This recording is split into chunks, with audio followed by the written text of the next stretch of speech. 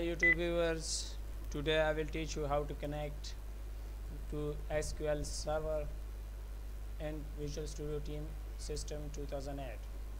It's very simple. I'm using SQL Express Edition 2005 which comes built in in Visual Studio 2008. So it's a Windows authenticated database. So let's start it first I will create a website ASP website application. Add a button. Double click a button. For SQL connection I will imports two libraries SQL for SQL connection SQL client. That's it.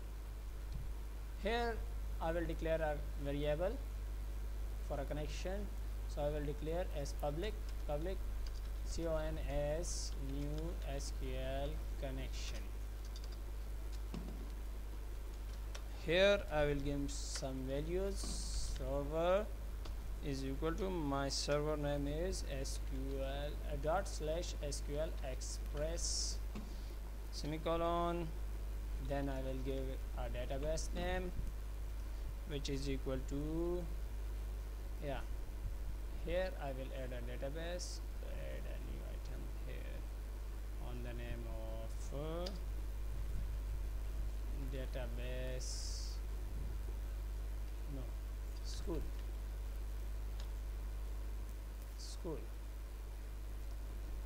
You can see it's added here and here also in, in server explorer school.mdf so here I will add a school name in, in a database. So colon and I'm using a trusted underscore connection. I'm using a trusted connection it is true. If you are using some other like uh, a standard connection. So you will need a user ID and password and no need of trust connection words mentioned in connection string. So let's start it. A manual first I will have to open a connection. And my connection is open. If con dot state this connection state is equal to data connection state open.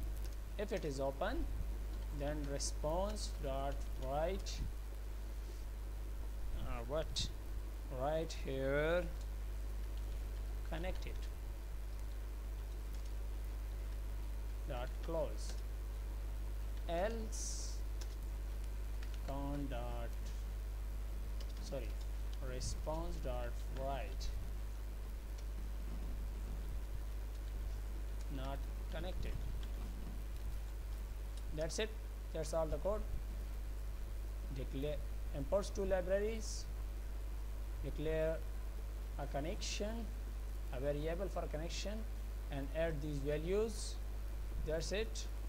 And under the button click event. Connection open.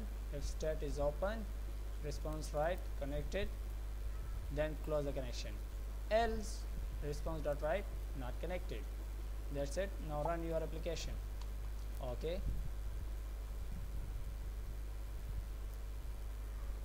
If I'm connect I'm, I click button here I will see it is connected or not, not connected. If it is connected it shows it's connected. So it's successfully connected to the database. So that's it thanks for watching. Subscribe my channel for more videos. Thanks